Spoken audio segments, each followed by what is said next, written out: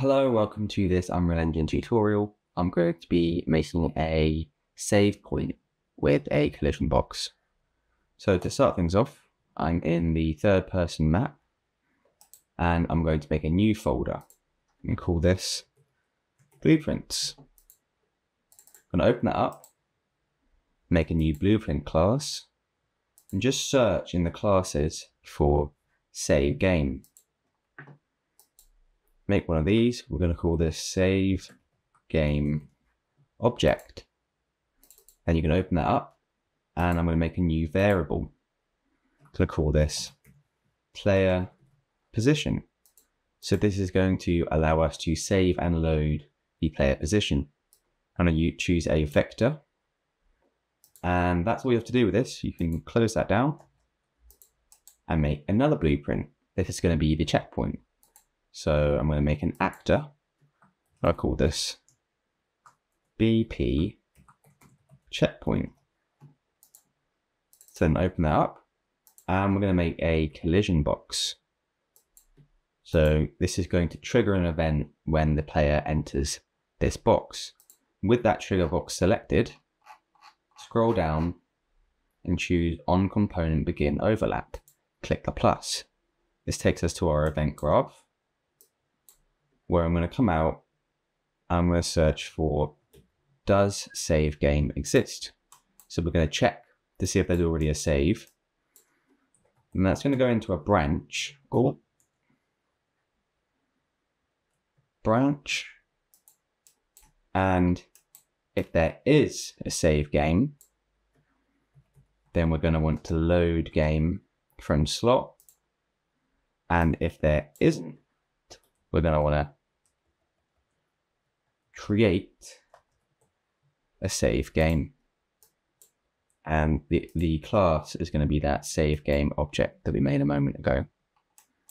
So then from here, if there, if there is a save, then we're going to want to cast to save game object.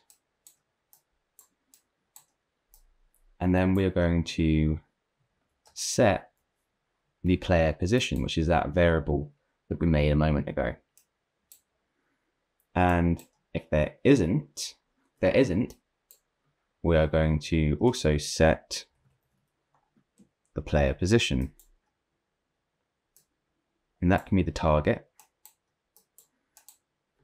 Then we're going to get actor location I'm really just going to plug that in like so. And then from here, we are going to save game to slot. And we're going to do the same up top. Now, we need a slot which is going to kind of store the, the save for us. And you just have to make sure that you use the same name for all of them.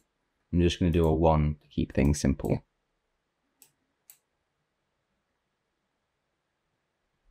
So then our return value from here can go into the save game object and the same up top.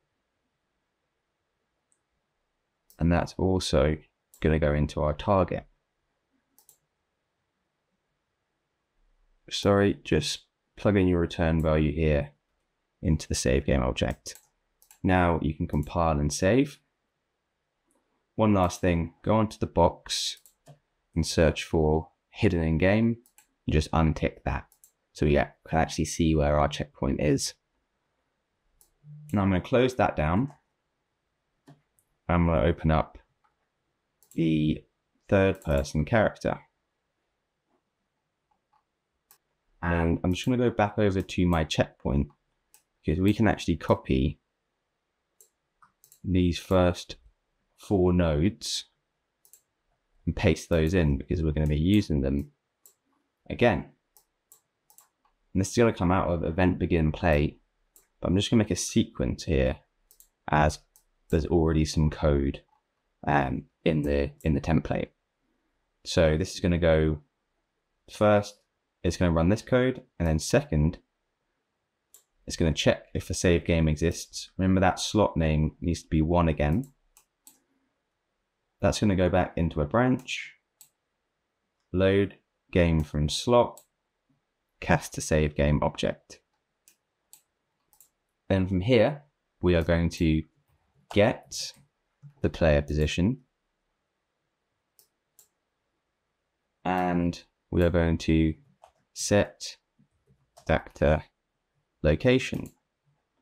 And that location is going to be that variable that made earlier. Again, so now that's all looking fine. I'm just going to go back into my checkpoint and from the save game exist, plug that into the branch condition. Then compile that and close that down. We're just going to drop checkpoint into the game. And now as I play, you see I can enter the checkpoint, escape, and when I play again, I'll be in the checkpoint. Now we can just copy that over. And you'll see we'll start here, enter that checkpoint, and when we play again, we'll be in the new checkpoint. So I hope that helps. Oh, another thing you can add is something to actually trigger the um, the loading of the game. So if I go back into my contents, just going to make a new blueprint actor. We're going to call this BP enemy. Good. You get the idea. um, open that up. I'm going to add another box collision. Then with that selected, again, search for hidden in game, untick that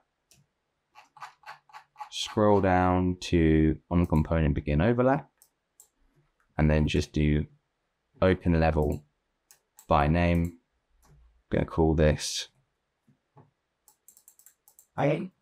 third person map.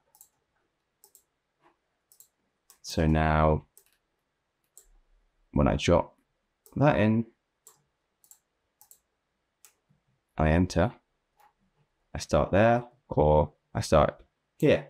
I've made another tutorial where um, this, the enemy box, um, is kind of this rotating thing that will actually kill you and cause a little animation when it does so. So follow along to that if you want to add another part to this. But if that's all you need, then thanks for watching.